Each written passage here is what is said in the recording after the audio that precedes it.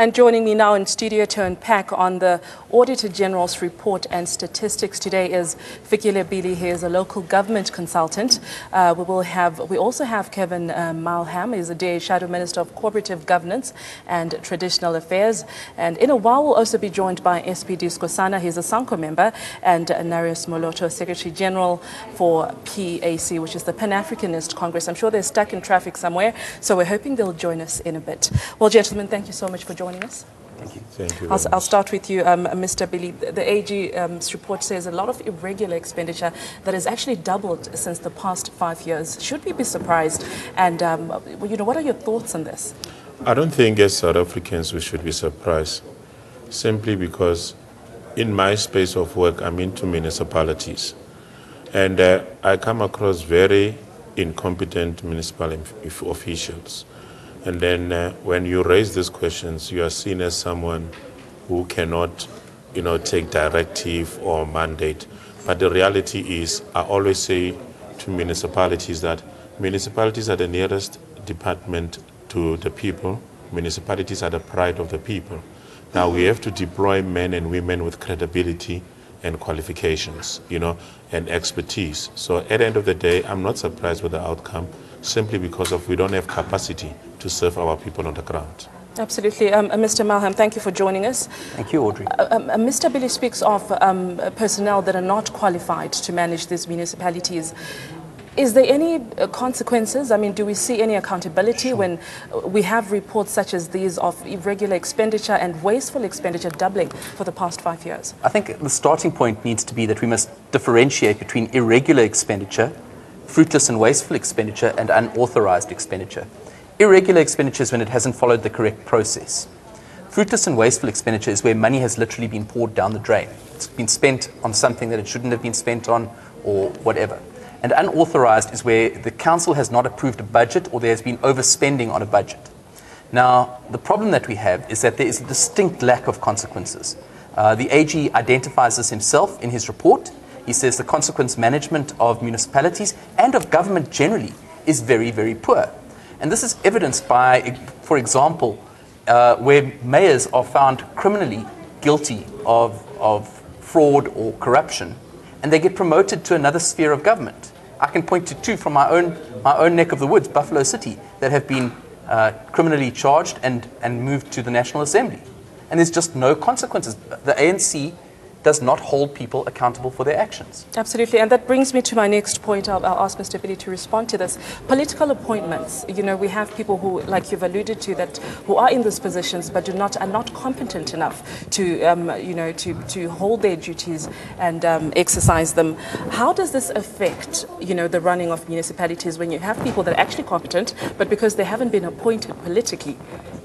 Listen, I, I am of the view that, for example, we need to differentiate between who is the political head, who's the administrative, uh, administrative head.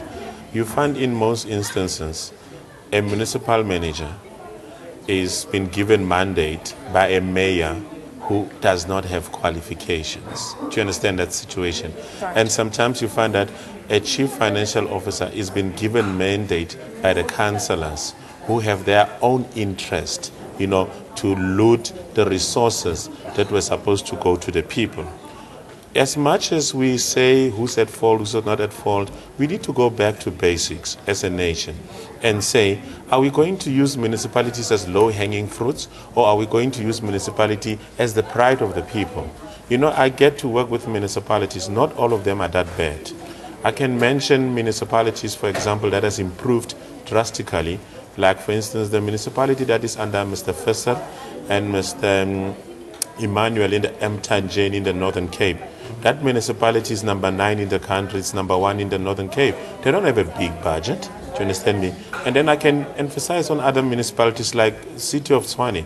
They might have their political differences and all those things, but at the end of the day, is the most most professional municipality. You know, we come Well, I across. think I disagree on that No, one. no, no. City of Tshwane under uh, Ramokgopa is m- very much efficient. I don't have a problem with politics. I'm not into politics, but I'm a service provider at City of Tshwane. Service providers will never come to you and say, I've been paid three months later because they've got an automated uh, payment system at City of Tshwane. Yes, Right. they are delivering City of Tshwane. We can see the latest development of RDP houses, which was uh, actually designed by a black dude in, in, Tshwane. You know, they are rolling out houses that we've never seen in each and every, each, in any province. It only happens in Gauteng. And uh, currently they've got a good bus system and I've never seen so many potholes in the city of Tshwane. So the reality is, let's not go to politics, let's go to deliverance. Okay. They get clean audits, and I think politically they are sober, but going forward, I think they can also improve. But going to other provinces that I've seen, you see, if you give power to one person to appoint MECs, municipal managers, CFOs, councillors, then you have killed the people on the ground.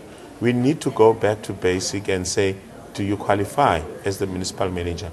Who can we get on board, for example, private companies that can come on board and screen these people to see that we've got men and women of credibility. Like I, going back to you, I say the Northern Cape, this municipality has done wonders. It's the only municipality in the Northern Cape that has done very well. So we need to give credit where it's due, but where they don't perform, we should not be biased because you know we want to save face. Right. If A very important screening process to make sure we have competent people in position. Uh, Mr. Mileham, I see you about to jump out of your seat. You're dying No, to no, no. respond. I, I just um, think to that Mr. there's a Billy couple of here. things here. First of all, there are minimum competencies that are required of CFOs, heads of supply chain, Section 57 directors, and municipal managers. And all of these people have had years and years and years to get those in place. The, the document or the, the, the regulations were passed, I think, in 2010. And they've had at least six years to get those qualifications, to get those competencies. Now, what we're seeing is that many of them still do not have competencies. After the elections, when new councils are appointed and new directors and new municipal managers and so on are appointed, there are going to be more people coming in that have got no competency. So I agree with that, that there are Okay. incompetent people. Where I disagree is that we can't hold up a, a city like Tshwane as an example of good governance. City of Tshwane went against a National Treasury directive. They went against the minister's directive, the Minister of Finance at the time, Pravin Gordhan, who's now again our Minister of Finance. And they went and installed smart meters, a billion rand smart meter project, more than a billion rand, it's nearly two billion rand. That's irregular expenditure. Now, you can't hold that up as good ex- uh, an example of good governance. In fact, they are identified in today's audit report as being one of the, the, the metros with a problem with good governance. So yes, we've got to have we've got to have competent people, but equally we've got to have the political will to make sure that those people are doing the right thing and that they are being directed in the right manner. And there I agree that it's not about politics. It's about making sure that people follow the procedures, that what they are doing is in the best interests of, of the people on the ground. Absolutely, and those are huge amounts of money you're talking about. Is there, a, I'm just wondering, a general cavalier attitude towards public funds, Mr. Billy?